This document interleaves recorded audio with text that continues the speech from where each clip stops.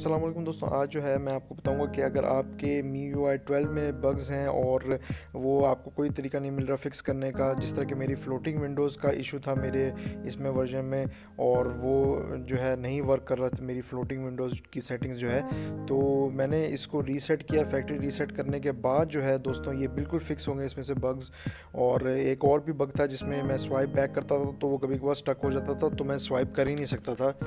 Back पे, back जाने के लिए। तो ये सारे इश्यूज़ जो हैं फ़िक्स हो गए सिर्फ़ फैक्ट्री रीसेट करने की वजह से।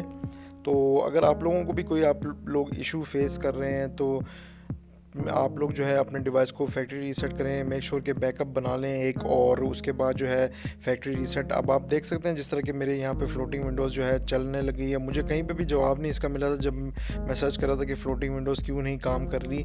तो सिर्फ़ फैक्ट्री रीसेट करने की वजह से दोस्तों जो ये है, अब फ्लोटिंग विंडोज़ भी मेरा जो है सही हो गया और डिवाइस भी जो है प्रॉपर वे में ये काम करने लग गया है। तो अगर आप लोगों को इशू आ रहे हैं तो ज़रूर फैक्ट्री रीसेट करें और कुछ भी कमेंट्स में पूछना है आपने तो मुझसे पूछ सकते हैं। अगर आप लोगों को मेरी वीडियो अच्छी लगी तो प्लीज़ लाइक करें और शेयर करें और सब्सक्राइब करें मेरे चैनल पर।